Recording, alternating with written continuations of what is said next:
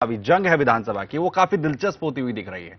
अगर बात हरियाणा की की जाए तो तमाम पार्टियाँ इस वक्त वहाँ पर दावा कर रही हैं, लेकिन सबसे ज़्यादा दिलचस्पी इस वक्त विधानसभा चुनाव महाराष्ट्र के होते हुए नज़र आ रहे हैं। दरअसल, अगर देखा जाए, परिस्थितियाँ उतनी गंभीर बनती हुई बीजेपी के लिहाज से नहीं दिख रही हैं, जिस तरीके से गठबंधन के वक्त कहा जा रहा था। स्ट्रेटेजी पूरी बना ली गई है। बीजेपी की तरफ़ से नरेंद्र मोदी चुनाव प्रचार में उतर चुके हैं। लगातार रैलियाँ इस वक्त चल रही हैं, लेकिन महत्वपूर्ण यह है कि एक तरफ़ शिवसेना की तरफ़ से खुद उद्धव ठाकरे बीजेपी को जिम्मेदार एक तरफ़ से ठहरा रहे हैं कि बीजेपी की वजह से यह गठबंधन टूटा है। हमला शिवसेना की तरफ़ से कहीं ना कहीं छुटपुट रूप से ज़रूर किया जा रहा है, लेकिन आज बीजेपी की तरफ़ से खुद प्रधानमंत्री नरेंद्र मोदी ने यह बात कहकर साफ़ कर दिया कि वो एक बार भी शिवसेना के खिलाफ कुछ भी अपनी रैलियों में नहीं बोलेंगे। सवाल यह है कि क्या बीजेपी और शिवसेना के बीच में कुछ और पक रहा है या आगे कुछ और रणनीति विधानसभा चुनाव के बाद सामने आ सकती है? चर्चा करेंगे इस पर, लेकिन पहले आपको एक रिपोर्ट दिखाते हैं।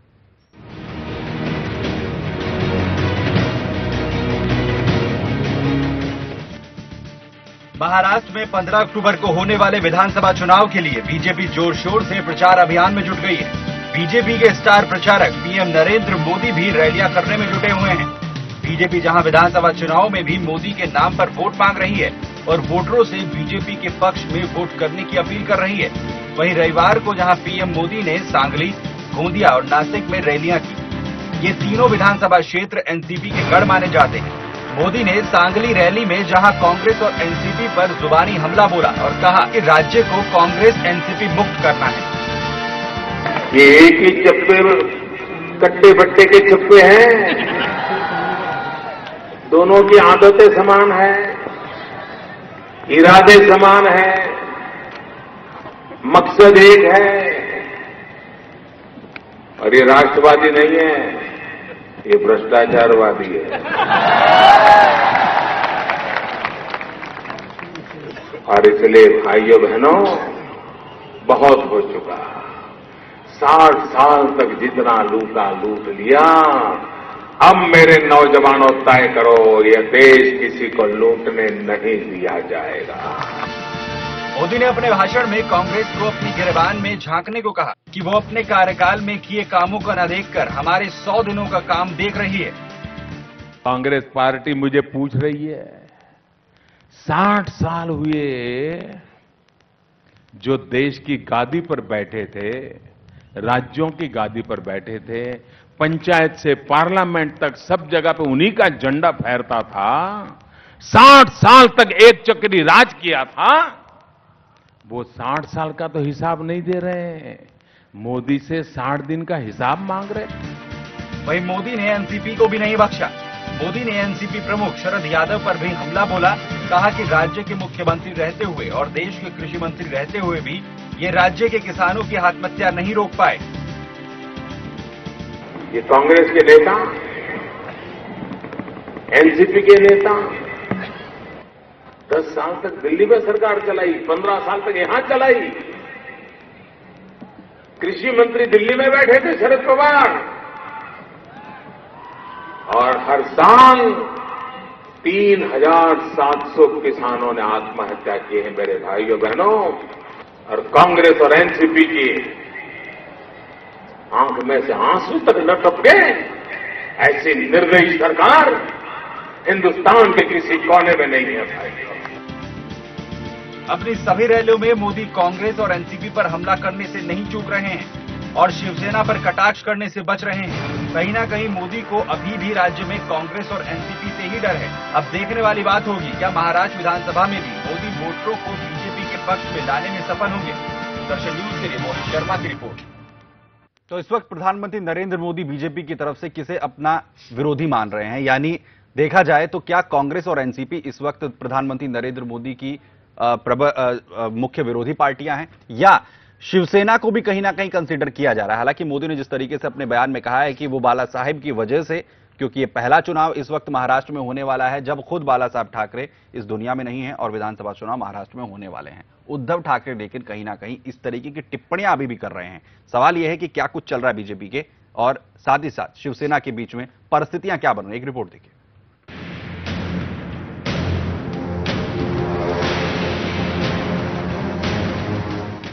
बीजेपी का शिवसेना से 25 साल पुराना गठबंधन टूट चुका है। लेकिन अभी भी बीजेपी शिवसेना के खिलाफ बोलने से बच रही है। और इसका कारण मोदी ने अपने महाराष्ट्र की चुनावी रैली में शिवसेना के खिलाफ कुछ नहीं बोलने का ऐलान भी किया। राजनीति से ऊपर भी आदर और श्रद्धा के कुछ तत्व रहते हैं, उसको राजनीति के तराजू से तोला नहीं जा सकता है। उनकी गैर मौजूदगी का पहला चुनाव है। और मेरा कर्तव्य बनता है कि उनके आदर में शिवसेना के खिलाफ एक शब्द भी नहीं बोलूँगा। कहीं ना कहीं राजनीतिक गलियारों में अटकलों का बाज़ार शुरू हो गया है। क्या बीजेपी अभी भी शिवसेना से गठबंधन बनाना चाहती है? क्योंकि गठबंधन टूटने का कारण सीएम पद को लेकर ही माना गया था और शिवसेना ने गठबंधन टूटने के लिए बीजेपी को ही जिम्मेदार ठहराया था। तो वहीं बीजेपी के वरिष्ठ नेता लालकृष्ण आडवाणी ने भी शिवसेना और बीजेपी गठबंधन टूटने पर नाखुशी ज़ाहिर की थी। मैं इस तरीके से देखता हूँ कि मुझे खुशी होती है, टूटता नहीं। लेकिन ये बात भी सही है कि बहुत दिनों से हमारी पार्टी के लोग कहते थे कि हम सीटों का जो बंटवारा है, वह कोई समुचित नहीं है और हमको सीटें ज़्यादा मिलनी चाहिए। मैं इस मामले में जानता नहीं ज़्यादा, क्योंकि मैं उस मामले में कभी उलझा नहीं है। लेकिन हाँ जब मुझे कहा गया, उद्धव ठाकरे ने फ़ोन करके मुझे कहा तो मैंने उसके बाद गडकरी जी से इस विषय में बात की। उन्होंने कहा कि मैं बात कर रहा हूँ। कहीं ना कहीं अभी भी बीजेपी को शिवसेना से गठबंधन तोड़ने का अफसोस है, जिसका प्रमाण मोदी ने अपनी रैली में कर दिया, जिसे कहीं ना कहीं ये कहना गलत नहीं होगा कि क्या बीजेपी और शिवसेना के बीच चुनाव फिक्सिंग हो गई है। दर्शन न्यूज़ के लिए मोहित शर्मा की रिपोर्ट। क्या बीजेपी और खुद प्रधानमंत्री नरेंद्र मोदी अभी भी शिवसेना के साथ जो गठबंधन बना था और जब टूटा ये गठबंधन उस वक्त जब बीजेपी की तरफ़ से यह कहा गया कि लो विधानसभा चुनाव जब होंगे तो हम शिवसेना पर किसी भी तरह की कोई टिप्पणी नहीं करेंगे। क्या प्रधानमंत्री नरेंद्र मोदी अपने उस वादे को निभा रहे हैं? या अभी भी कोई गुंजाइश बाकी है? कोई ऐसी जगह बाकी है जो भरी जा भरी जा सकती है। ओम वर्मा साहब वरिष्ठ पत्रकार इस चर्चा मेरे साथ हैं। साथ ही साथ दिनेश सिंह बीजेपी नेता इस वक्त मेरे साथ हैं। दिनेश जी के पास जाने से पहले मैं ओम साहब आपके पास आना चाहता हूँ। दरअसल जो पूरी परिस्थितियाँ उभरकर सामने आ रही हैं ज़ाहिर है चार अब बड़े दल हो चुके हैं। हालाँकि एमएनएस को भी इसमें काउंट कर लूँ तो पाँच हो जाएँगे। पार्टियाँ का, काफ़ी हैं लेकिन इस वक्त जो मेन लड़ाई जो नज़र आ रही है वो किसके बीच में नज़र आ रही है? दरअसल परिस्थितियाँ जो हैं उस पर एक एक ओस सी जमी हुई है उस समय उभर कर सामने नहीं आ रही है कि आखिर अब ये लड़ाई चल किसके बीच में रही है देखिए महाराष्ट्र में लड़ाई बहुत दिलचस्प हो गई है हम्म। दोनों में सभी पार्टियों में गठबंधन टूट चुका है हम्म। ये सभी को जानकारी है हम्म। दरअसल बीजेपी का मुख्य फोकस सरकार के खिलाफ है वहाँ के कांग्रेस और एनसीपी के खिलाफ है लेकिन गठबंधन टूटने के बाद सबसे बड़ी चुनौती शिवसेना की तरफ़ से मिल रही है। आपको ध्यान होगा कि जब गठबंधन इनका टूटा था उसके बाद से शिवसेना के लगातार हमले हो रहे हैं। कई अपशब्द का भी इस्तेमाल किया गया है शिवसेना ने अपशब्दों का इस्तेमाल किया है। लेकिन जब नरेंद्र मोदी जब अमेरिका में थे अभी अमेरिका में जो कार्यक्रम था उस उसी बीच में खबर आई इनके कि महाराष्ट्र में इनके कई कार्यक्रम होंगे। हम्म। और उसके तुरंत बाद शिवसेना की तरफ़ से बयान आया हम्म।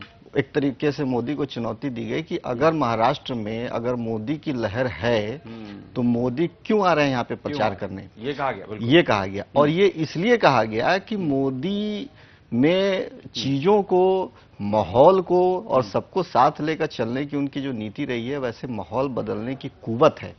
उसी कुवत की वजह से शिवसेना इनसे डर रही है और लगातार हमले कर रही है। शिवसेना की तरफ़ से लगातार हमले हो रहे हैं। एक तरह से से ऐसा नज़र आ रहा है कि जैसे वहाँ लड़ाई शिवसेना और भाजपा के बीच हो गई हो। लेकिन बीजेपी ने कुछ भी कहने से मना किया है उसका दरअसल सीधा सीधा vote bank Marathi vote bank है। मराठी वोट बैंक पॉलिटिक्स कहूँ मैं इसे? हाँ कह सकते हैं। मराठी मराठी दरअसल वोटों बैंक जो वहाँ पे है मराठी हम्म। वोटों के लिए मराठी वोट पे वर्चस्व शिवसेना हम्म। ने अपना वर्चस्व कायम करने की कोशिश की हम्म। मनसे ने कोशिश की मनसे ने ये कोशिश करके बाहरी मुंबई के महाराष्ट्र के बाहर के लोगों को वहाँ से हटाने की कोशिश की तो ये सब मराठी वोट बैंक के लिए ये सब किया जा रहा है लेकिन अब मोदी ने जो यह भाषण दे दिया ये कह दिया कि जो है सो प्रांतीय पर प्रांतीय और प्रांतीय और जो भी हो अंदर जो भी महाराष्ट्र के हो महाराष्ट्र के बाहर के हो अब इस तरीके की राजनीति नहीं चलेगी। कुल मिलाकर के वो सबको लेकर चलना चाह रहे हैं। चलिए ठीक हाँ, ठीक। ये कोशिश एक ये स्टेट ये बहुत बड़ी ये बहुत बड़ी रणनीति है। हाँ। और इस रणनीति से अगर आप जाकर के देखें अगर तह में जाकर के देखें तो इस रणनीति से शिवसेना घबराई हुई है। हम्म, चलिए। शिवसेना को घबराहट है या नहीं है लेकिन दिनेश जी सवाल यह है कि क्या बीजेपी इस वक्त पॉजिटिव पॉलिटिक्स कर रही है? जो आखिर अंदर खाने की जो खबरें सामने आई, शिवसेना को लेकर कहीं ना कहीं बीजेपी के अंदर यह डर था कि उत्तर भारतीयों वाला मसला सामने ना आ जाए। अब राहें जुदा हो चुकी हैं। अब सवाल यह है कि अगर बीजेपी पर निशाने साधे जा रहे हैं शिवसेना की तरफ़ से तो खुद नरेंद्र मोदी ये कह रहे हैं कि वो इस तरीके से कोई भी टिप्पणी नहीं करेंगे, बीजेपी टिप्पणी नहीं करेगी। ये एक लोगों की जो भावनाएँ हैं, उसे अपनी तरफ़ झुकाने की वाली पॉलिटिक्स है, पॉजिटिव पॉलिटिक्स है। नहीं सुमित जी अगर ओम जी की बात को ही मैं आगे बढ़ाऊं हम्म। तो देखिए आज ना दुविधा पार्टी के सामने है और ना दुविधा महाराष्ट्र के वोटरों के सामने है हम्म। आज सब कुछ जैसे जैसे चुनाव की तिथि नज़दीक आती जा रही है आप वहाँ के माहौल के बारे में पता करिए सारा माहौल एक तरफा होते जा रहा है धीरे धीरे। अभी आप और समय बीतने दीजिए। दो चार दिन जैसे और गुजरेगा आप देखिएगा सिर्फ़ और सिर्फ़ वहाँ भारतीय जनता पार्टी नज़र आएगी। क्यों हमारा गठबंधन अगर अगर ऐसा है अगर आप ऐसा दावा कर रहे हैं ऐसा क्या बदल गया है इन चार पाँच दिनों के अंदर या इस हफ़्ते के अंदर?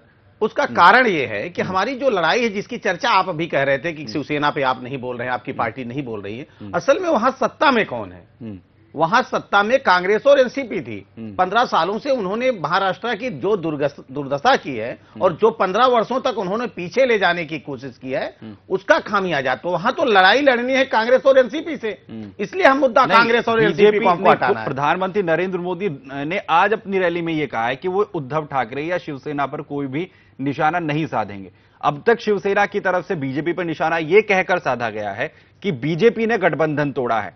हालाँकि आपके नेताओं की तरफ़ से भी यही कहा गया। अब तक ऐसी कोई बड़ी बातें सामने नहीं आई है जिसमें कहा गया हो कि शिवसेना ने यह घोटाला कर दिया है या बीजेपी ने यह कर दिया है। बड़े आरोप प्रत्यारोप का दौर अब तक शुरू नहीं हुआ है। अब तक सिर्फ़ गठबंधन को लेकर ही जो है मिर्चियाँ सामने आ रही नहीं कुछ मुद्दों पर हम लोगों का मामला नहीं बन पाया। वो अफसोस दोनों पार्टियों की थी। दोनों लोग चाहते थे लेकिन किसी पार्टी के हठधर्मिता की वजह से हो गया वो मुद्दा पुराना हो गया। अब समझ लिया हम चुनाव में हैं अलग अलग पार्टी के रूप में बिल्कुल। तो अब वो मुद्दा ही नहीं रह गया। लेकिन मुझे ये लगता है कि जिसकी बार बार आप ज़िक्र कर रहे हैं कि अंदर खाने बाहर खाने ये कहीं कोई बात ही नहीं है। आप देखिएगा कि किसी दल को भारतीय जनता पार्टी को महाराष्ट्र में सरकार बनाने के लिए आवश्यकता ही नहीं पड़ेगी। महाराष्ट्र की जनता बहुत जागरूक है। वो एनसीपी और कांग्रेस के कुशासन से मुक्ति। अभी दो दिन पहले आप देखिए। अभी जो है दशहरा बीता है। और उसका कारण यही है उस दशहरा में जो हम लोग सिंबोलिक रावण का दहन करते हैं राम के रूप में उसके नाभि की बात की जाती है कि बार बार रामचरित मानस में आता है कि नाभि में अमृत था रावण के। नाभि का मतलब है कि उसके केंद्र में क्या है? आज हिंदुस्तान के केंद्र में जो सबसे बड़ा रावण है वो भ्रष्टाचार है। और उसकी पहचान भारतीय जनता पार्टी या नरेंद्र मोदी जी ने ठीक से कर ली है। इसलिए उसका उनका प्रहार भी उसी भ्रष्टाचार पे हो रहा है। और मुझे लगता है कि कांग्रेस और एनसीपी जो एक थाली के दो चट्टे बट्टे हैं नाम भले अलग हो ये उस भ्रष्टाचार के जननी ही नहीं उसके पोषक भी हैं और देश की जनता और महाराष्ट्र की जनता इस बात को बाखूबी समझ रही है। इसलिए उस नाव के अमृत को खत्म करने के लिए वहाँ की जनता, भारतीय जनता पार्टी के साथ है। वर्मा साहब, लोगों को यह मैसेज पहुँचाने की बीजेपी की तरफ़ से कोशिश की जा रही है कि कहीं ना कहीं अगर खलनायक के तौर पर दोनों का गठबंधन टूटा है तो उन दोनों पार्टियों का खलनायक जो है वो शिवसेना है। भले ही प्रधानमंत्री नरेंद्र मोदी ये कह रहे हो कि वो उनके खिलाफ कुछ नहीं बोलेंगे। पॉजिटिव पॉलिटिक्स का जो मैंने यहाँ पर नाम दिया, एक तरफ़ कांग्रेस एनसीपी में निशाना साधा जा रहा है, हालाँकि प्रधानमंत्री जानते हैं, कहीं ना कहीं उनके जहन में यह बात होगी कि अब हमारा अगर कोई प्रतिद्वंदी है तो वो खुद शिवसेना है। बिल्कुल मैंने कहा भी कि वो प्रतिद्वंदी के तौर पे ही वो शिवसेना कतई नहीं चाहती थी कि नरेंद्र मोदी जो है सो वहाँ पे अपने काम संभालें या फिर महाराष्ट्र चुनाव की कमान अपने हाथों में लें। नरेंद्र मोदी से उन्हें बहुत ज़्यादा डर है कि उनकी जो पॉजिटिव पॉलिटिक्स है वो एक चीज़ को विकास को उन्होंने ऐसा हथियार बना लिया है वो ऐसा हथियार उनके हाथ लग गया है कि जिसकी इसका काट किसी के पास नहीं है किसी भी पार्टियों के पास नहीं है। आज उन्होंने कहा कि मैं शिवसेना के खिलाफ नहीं बोलूँगा। शिवसेना के खिलाफ नहीं बोलने का उनका सीधा सा मकसद है कि जो बाला साहब ठाकरे के का साथ जो मिला था बीजेपी को तो कहीं ना कहीं वो चाहते हैं कि हम लोगों ने साथ एक निभाया और एक मराठी वोटों मराठी लोगों का जो एक जो सम्मान करते थे बाला साहब का तो उस सम्मान की वजह से वो उस वोट बैंक को किसी भी तरीके से नहीं नाराज़ करना चाहते हैं। कुल मिलाकर के वो चाहते हैं कि हर किसी को हम साथ लेकर के चलें न पर प्रांतीय हो न प्रांतीय हो। किसी भी तरीके का विवादास्पद चीज़ों को दरकिनार। और यही चीज़ें जो है वो वहाँ शिवसेना को नागवार गुजर रही है।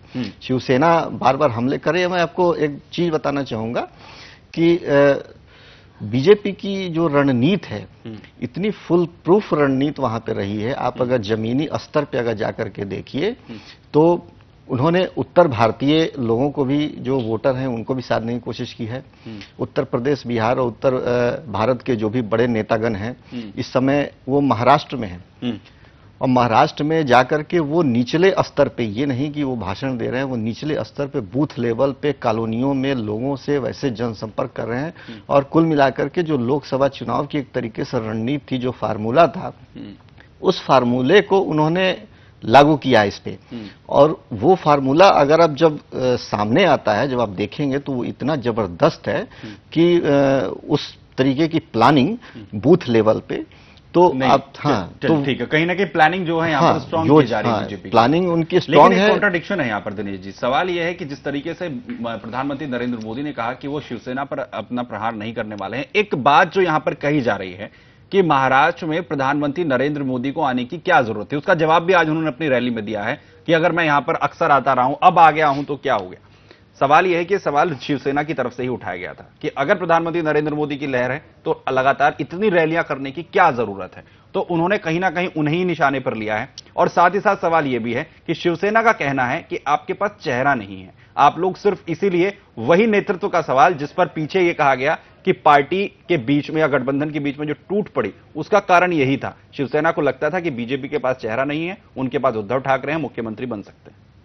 नहीं देखिए हर पार्टी की अपनी अपनी स्ट्रेटजी हो सकती है। आज शिवसेना की क्या स्ट्रेटजी है वो जाने। लेकिन भारतीय जनता पार्टी या कोई भी पार्टी अपने किस नेता को चुनाव प्रचार में उतारे वो उस पार्टी की ज़िम्मेदारी हो पार्टी को तय करना। उसमें मुझे नहीं लगता है कि किसी दूसरे पार्टी के नेताओं से ना तो कोई पार्टी पूछने जाती है कि भैया हम प्रचार में किसको भेजें? तो अपनी अपनी पार्टी अपनी अपनी रणनीति आपकी हो तो निश्चित तौर पर चूँकि महाराष्ट्र और अभी हरियाणा का चुनाव है हाँ। तो हमारी पार्टी तो ठीक समझ रही है हाँ, वो कर रही है। बिल्कुल। लेकिन सेकंड लाइन अब किसे खड़ा किया जा रहा है? सेकंड लाइन का सवाल है। उनका यह कहना है कि आपके पास सेकंड लाइन है ही नहीं। प्रधानमंत्री नरेंद्र मोदी के पास आ, के बाद आप लोग कोई ऐसा चेहरा सामने नहीं ला पाए हैं जिसके बाद महाराष्ट्र की जनता उस पर विश्वास कर सके। प्रधानमंत्री का चेहरा है जो लोकसभा में आपने दिखाया और एक बार फिर से आप वही दिखा भारतीय जनता पार्टी हम्म, कैडर आधारित पार्टी है। हम्म, कार्यकर्ता आधारित पार्टी है।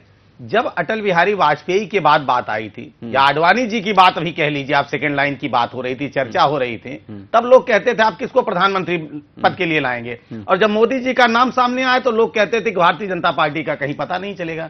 और जो लोग कहते थे कहीं पता नहीं चलेगा वही आज मोदी जी ने उद्धृत किया। कि इमरजेंसी के बाद तो कांग्रेस पार्टी कम से कम सौ सीटें जीती थी। लेकिन इस महा इमरजेंसी के बाद जब मोदी जी सामने आए तो चौवालीस पर सिमट कर रह गए। अभी जो दो सीटें कांग्रेस पार्टी वहाँ पे जीती हुई लोकसभा में चार एनसीपी ने।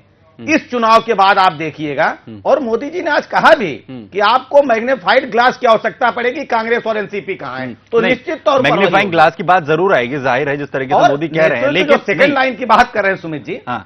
ये पार्टी बनाती है। हम्म। किस कार्यकर्ता को कहाँ पे फिट करना है? पार्टी अपना समय पर समय पर निर्णय अगर प्रधानमंत्री नरेंद्र मोदी ये कहते हैं कि अगर यहाँ पर गोपीनाथ मुंडे आज जीवित होते तो उन्हें उन्हें यहाँ पर चुनाव प्रचार करने के आने की ज़रूरत नहीं थी वो क्या कहना चाहते हैं निसंदेह देखिए हाँ। अगर आज वहाँ प्रमोद नहीं वो क्या ये कहना चाहते हैं कि गोपीनाथ मुंडे के बाद कोई नेतृत्व में करने के लिए महाराष्ट्र में आगे नहीं आ पाया है इसलिए उन्हें केंद्र छोड़कर यहाँ आना पड़ा नहीं दो चीज़ें हैं सुमित जी एक तो आकस्मिक जब कोई दिक्कत हो जाती है हम्म। जैसे प्रमोद महाजन जी के साथ हो गई हम्म। आकस्मिक तौर पे फिर मुंडे साहब के साथ हो गई हम्म। स्थापित नेता थे हम्म। तो निश्चित तौर पर एक बार पार्टी को सदमे से उभरने में समय लगता है हम्म। तो निश्चित तौर पर परिवार की ये ज़िम्मेदारी होती है हम्म। जो परिवार के वरिष्ठ जन होते हैं क्या उनकी क्या क्या बीजेपी का जो है नेतृत्व है नितिन गडकरी पर या राजीव प्रताप रूडी पर एक नाथ खड़से पर क्या है वो भरोसा नहीं जता पाए हैं अब तक आप लोग सब पर भरोसा है हाँ। वो पार्टी के कार्यकर्ता है लेकिन मैंने पहले ही कहा कि जो पार्टी के वरिष्ठ हैं आपके घर परिवार में किसी रिश्तेदारी में दिक्कत हो जाती है तो घर परिवार का जो मुखिया होता है वही आगे बढ़कर बाकी सहायता देने के लिए सब आते हैं सबका अपना अलग अलग काम होता है। हर तरह से लोग सहयोग करते हैं लेकिन जो मुखिया होता है उसका काम ज़्यादा होता है। तो निश्चित तौर पर आज प्रधानमंत्री जी देश के मुखिया हैं पार्टी अगर अगर पार्टी आप, चेहरा नेतृत्व के लिए आप एक चेहरा नहीं ढूंढ पा रहे फिर मुख्यमंत्री का क्या होगा? नहीं वो उसकी चिंता ही नहीं है। जहाँ जहाँ आप देखिए जब भी आवश्यकता पड़ी है तो भारतीय जनता पार्टी उस चेहरे को लाके सामने रखी है वो चेहरा निश्चित तौर पर चुनाव हो जाने दीजिएगा। वहाँ के विधायकगण अपने आप उस चेहरे को चुन लेंगे। हमारे लोकतांत्रिक पार्टी इसी पार्टी में तो कम से कम लोकतंत्र। जीवित है। चलिए ठीक। वर्मा साहब देखिए- ये एक इशारा नहीं लगता आपको? अगर मोदी ये कहते हैं कि अगर मुंडे यहाँ पर होते तो मुझे यहाँ पर आने की ज़रूरत नहीं थी। वो क्या कहना चाह रहे हैं? ठीक है वो एक बात मैं मानता हूँ कि गोपीनाथ मुंडे बड़े नेता हैं भीड़ में किस तरीके से या महाराष्ट्र में उनकी क्या छवि रही है उसे नहीं भरा जा सकता है। लेकिन अगर मैं इसके उलट दूसरी तस्वीर देखूँ वो क्या कहना चाहते हैं? वो, वो इशारा किस और है? हम लाइन नहीं खड़ी कर पाए मुझे ऐसा लगता है। देखिए वो मुंडे साहब जो है वो स्थापित नेता थे महाराष्ट्र के और उनके आकस्मिक निधन से जो है सो एक बड़ी जगह खाली हुई है महाराष्ट्र में। और उस जगह को भरने के लिए ये तुरंत का वो नहीं है कि ऐसी रणनीति की जो है सो तुरंत उस जगह को भरा जा सके। इस वजह से वो उस जगह को भर नहीं पाए एक नेता वो घोषित नहीं कर सके। और इसीलिए शिवसेना चुटकी ले रही है और भी वहाँ के कई स्थानीय नेता वो भी चुटकी ले रहे हैं। दरअसल आप आइए एक दूसरी तरफ़ इस चीज़ को देखते हैं। अब बीजेपी की रणनीति पे आइए। इन्होंने कहीं भी किसी भी राज्य में अपना एक घोषित मुख्यमंत्री चुनाव से पहले मतलब मुख्यमंत्री की घोषणा नहीं की है कि हमारा ये मुख्यमंत्री होगा। ऐसी कोई घोषणा इन्होंने अब तक स्पष्ट तौर पे नहीं की है। कुल मिलाकर के ये है कि मोदी को ही चेहरा बना करके लड़ा गया। ये रणनीति है कि जब हम चुनाव जीत जाएँगे अपनी योजना के हिसाब से तो उसके बाद जो है सो हम नेता का या मुख्यमंत्री का चुनाव करेंगे। आप कहीं भी मिला लें कि नेता घोषित नेता की घोषणा नहीं चलिए कहीं ना कहीं रणनीति जो है इस बार बदल रही है। महाराष्ट्र की अगर हाँ, रणनीति सवाल ये भी है है। कि जिस तरीके से उपचुनाव भी हुए थे उस वक्त प्रधानमंत्री नरेंद्र मोदी को आगे नहीं किया गया था। क्या वो- इस वो- बार बीजेपी की वो- तरफ़ हाँ। बीजेपी अगर आगे यहाँ पर कर रही है तो क्या इस बार कुछ परिस्थितियाँ बदलने की ओर इशारा हो रहा है? बहुत बहुत शुक्रिया आप दोनों उपचुनाव में उपचुनाव में रणनीति थी वो। चलिए बिल्कुल बिल्कुल। बहुत बहुत शुक्रिया आप दोनों मेहमानों का। हमारे साथ इस चर्चा में जोड़ने के लिए वही सुदर्शन न्यूज़ का आज का सवाल है। क्या मोदी का शिवसेना पर निशाना न साधना सही है? आप अपने जवाब हाँ या ना में भेज सकते हैं। जवाब के लिए आप एसएमएस कर सकते हैं। एसएमएस करने के लिए अपने मैसेज बॉक्स में जाएँ। एस यू डी लिखें, फिर स्पेस दें। फिर अगर आपका जवाब हाँ है तो यस लिखें, और अगर ना है तो नो लिखें। इस मैसेज को आप शून्य आठ सात पाँच शून्य शून्य चार सात आठ पाँच पाँच पर भेज दें। आप अपने जवाब हमारी वेबसाइट www.sudarshannews.com पर जाकर भी दे सकते हैं। सवाल का जवाब अगले दिन रात 9 बजे के शो में दिखाया जाएगा। तो कल रात 9 बजे के शो से पहले अपनी प्रतिक्रियाएँ आप हम तक पहुँचा सकते हैं। इसी के साथ हमारी इस खास पेशकश में इतना ही। बाकी खबरों के लिए देखते रहिए सुदर्शन न्यूज़। जय।